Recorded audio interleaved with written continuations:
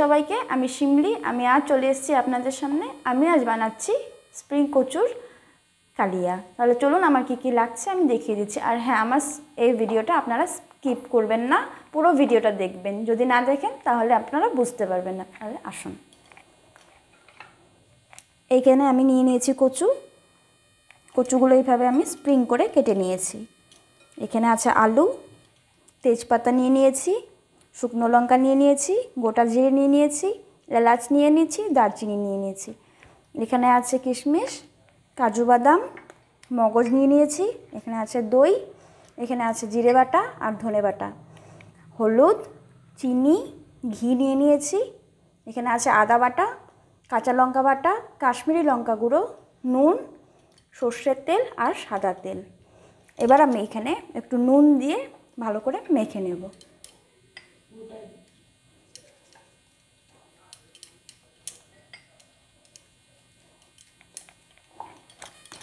এভাবে আমি মেখে দশ মিনিটের জন্য রেখে দেব। দশ মিনিট দেখুন, আমি আধ ঘণ্টা রেখে দিয়েছিলাম এটা। আপনারা চাইলে দশ মিনিটও রাখতে পারেন। আর আমি নুন মেখে রেখেছিলাম, তার জন্য দেখুন কি সুন্দরভাবে খুলে গেছে। এভাবে স্প্রিং হয়ে যাবে। আর আমি নিয়ে নিয়েছি এখানে বেসন আর চালের গুঁড়া। তখন আমি বলতে ভুলে গেছিলাম। এটা আমি এখন একটা বেটার বানিয়ে নেব। তাহলে চলুন আমি বানিয়ে নিচ্ছি।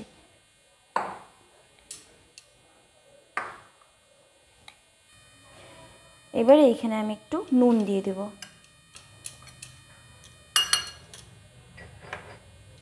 নুন।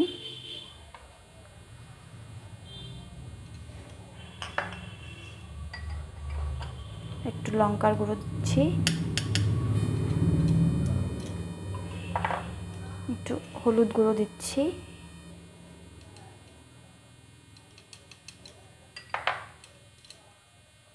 দিয়ে দেবো চিনি।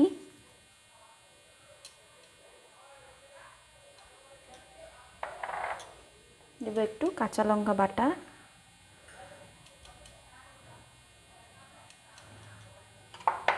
ভালো করে মেখে আমি এখানে জল অ্যাড করব।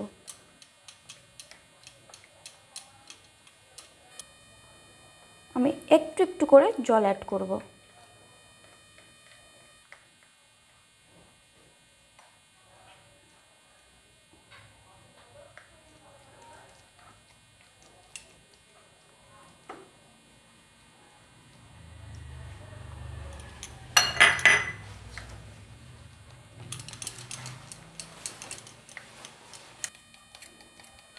দেখুন, খুব সুন্দরভাবে আমি করে নিয়েছি।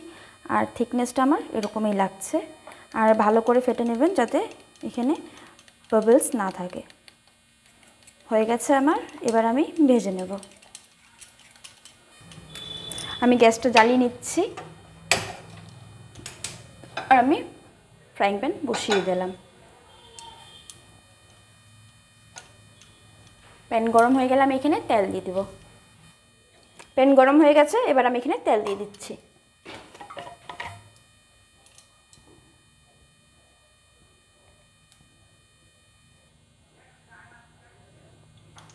দিয়ে দিলাম তেল।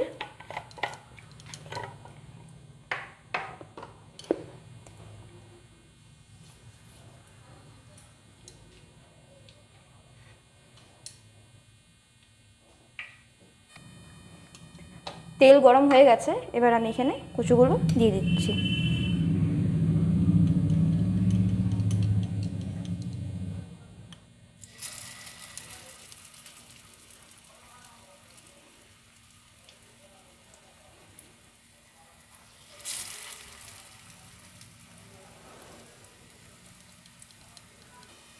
কচুগুলো কিন্তু আমি কাটিনি। কচুগুলো কেটেছে আমার শাশুড়ি মা। আমি কচুগুলো কাটতে পারি না, যদি আপনাদের কখনো প্রয়োজন হয়, আমাকে বলবেন, উনি দেখিয়ে দেবে। আর গোটা রেসিপিটাই কিন্তু ওনার ওনার থেকে আমি শেখা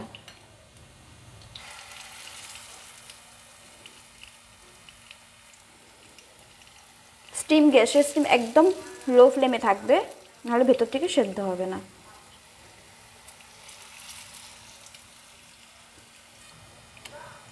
এক এক করে আমি সব কচুগুলো ভেজে নেব, তারপর আপনাদেরকে দেখাচ্ছি। দেখুন, আমি সুন্দর করে ভেজে নিয়েছি। এবার আমি আলুগুলো ভেজে নেব। আমি তেল নিয়ে নিচ্ছি আর একটু।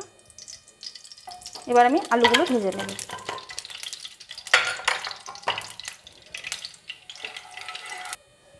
আমি এখানে একটু নুন দিয়ে দিলাম।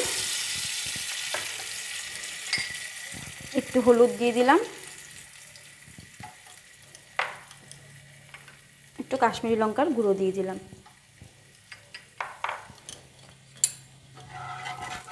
এবার আমি আলুগুলো ভেজে নেব।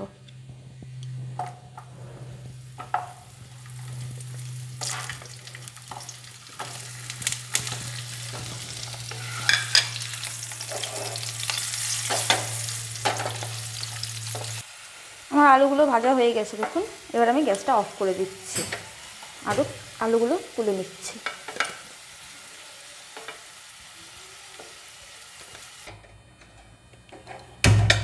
আমি কড়াইটা চেঞ্জ করে নিয়েছি, এবার আমি এখানে সর্ষের তেল অ্যাড করব। আমি এবার সর্ষের তেল দিয়েই রান্নাটা করব। আমি সর্ষের তেল ঢেলে দিচ্ছি।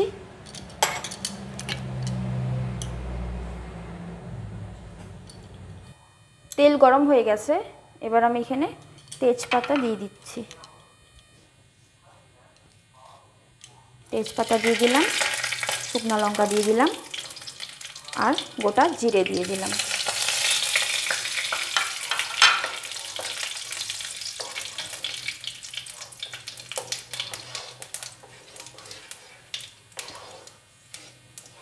এবার এখানে আমি জিরে আর ধনে গুঁড়ো পেস্ট করে রেখেছিলাম আমি অ্যাড করে দিচ্ছি।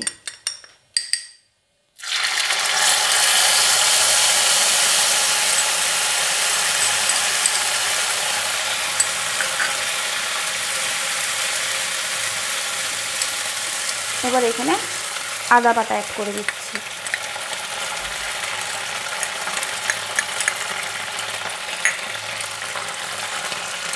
কাঁচা লঙ্কা বাটা আপনারা যতটুকু ঝাল খেতে পছন্দ করেন, ওইভাবেই দেবেন।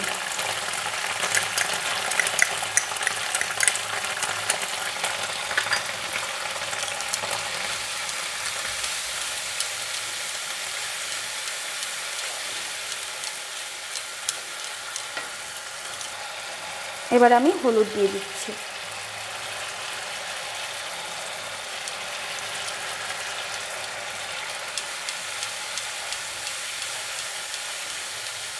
আমি কাশ্মীরি লঙ্কা গুঁড়ো এবার দিয়ে দেব।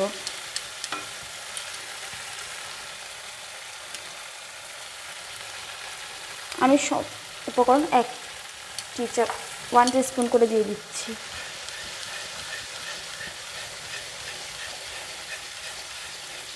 এবার আমি দিয়ে দিব নুন। স্বাদ অনুযায়ী নুন দিতে হবে।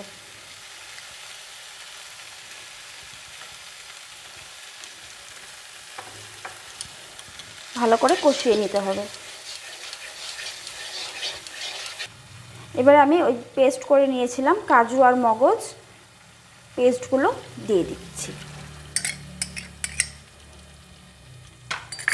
একটু নেড়ে আমি এখানে দই অ্যাড করে দেবো।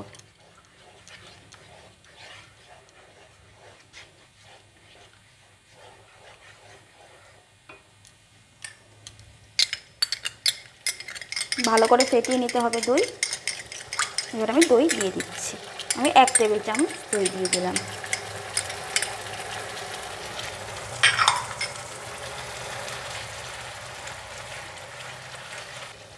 এবার আমি চিনি দিয়ে দিলাম।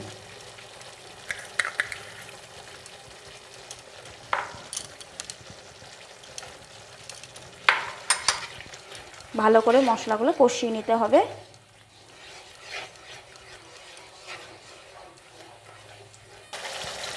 এবার এইখানে আমি কিশমিশগুলো অ্যাড করে দিচ্ছি।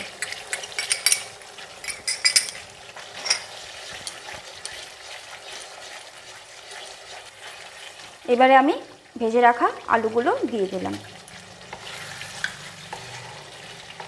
ভালো করে কষিয়ে নিতে হবে। দেখুন আমি সুন্দরভাবে কষিয়ে নিয়েছি। এবার আমি এখানে একটু জল অ্যাড করব।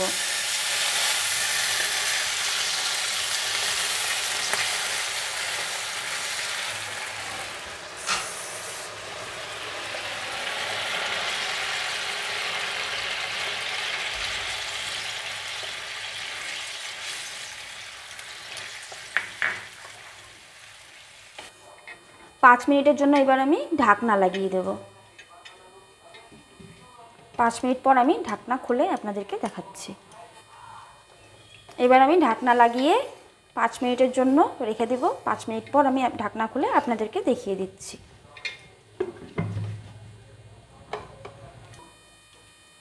পাঁচ মিনিট হয়ে গেছে, আমি ঢাকনা খুলে দিচ্ছি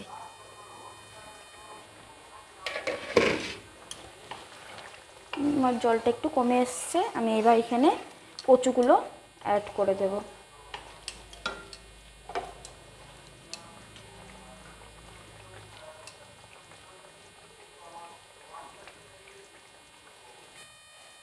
আমি এবার এখানে গরম মশলা দিয়ে দিচ্ছি।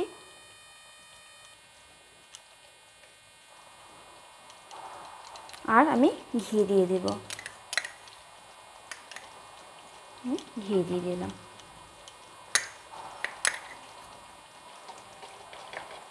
আর আমি ঢাকনাটা দুই মিনিটের মতো ঢেকে রাখব। ঢাকনা লাগিয়ে দিচ্ছি, আমি দুই মিনিট পরে দেখাচ্ছি। দু মিনিট হয়ে গেছে, এবার আমি ঢাকনাটা খুলে দিচ্ছি। এবার আমি গ্যাসটা অফ করে দিলাম। দেখুন, রেডি হয়ে গেছে।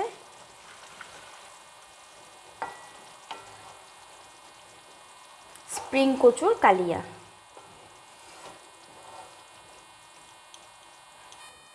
তাহলে চলুন, এবার আমি আপনাদেরকে প্লেটিং করে দেখাচ্ছি। দেখুন, হয়ে গেছে কচুর স্প্রিং করে আমি কেটে নিয়েছিলাম স্প্রিংয়ের কালিয়া। খুব সুন্দর একটি রেসিপি যারা নিরামিষ খেতে পছন্দ করেন, তারা বাড়িতে বাড়িতে বানিয়ে খাবেন। আর আমাকে কমেন্ট করে জানাবেন। আর আমার চ্যানেলটিকে লাইক করবেন শেয়ার করবেন আর সাবস্ক্রাইব করে দেবেন। আর পাশে থাকা বেল আইকনটিকে ক্লিক করে দেবেন। আজকের জন্য এটুকুই।